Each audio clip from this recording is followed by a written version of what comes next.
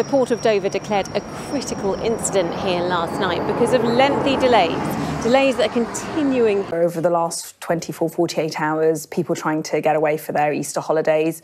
I would urge them to check their travel plans if they're about to set off to Dover, but that the situation is improving. Uh, there's been a an acute level of pressure put on the ferry companies and the coach companies, uh, a 35% increase in bookings. For every passenger going uh, into the European Union, the passports need to be swiped and then they need to be stamped. In a carload of, say, four people, that will take a little while. But in a coach where you might have 60, maybe sometimes up to 80 people on some of the bigger ones, that's just going to take a long time. It's obviously always a busy time of year.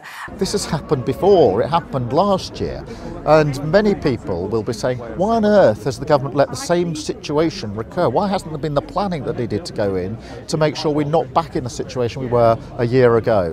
Uh, but the government's in close contact with the uh, port authorities and the local resilience forum to ensure that we start getting people crossing the channel quickly. Uh, 13 hours.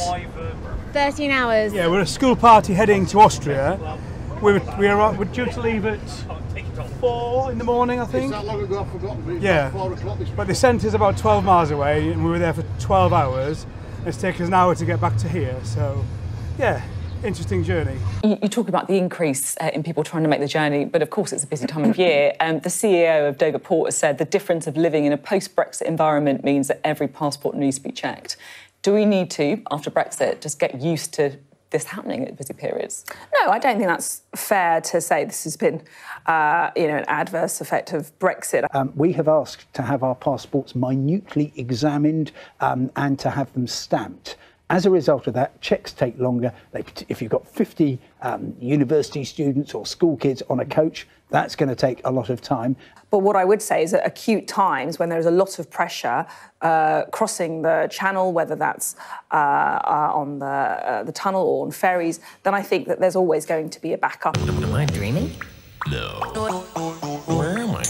And I just urge everybody to be a bit patient while the ferry companies work their way through the backlog.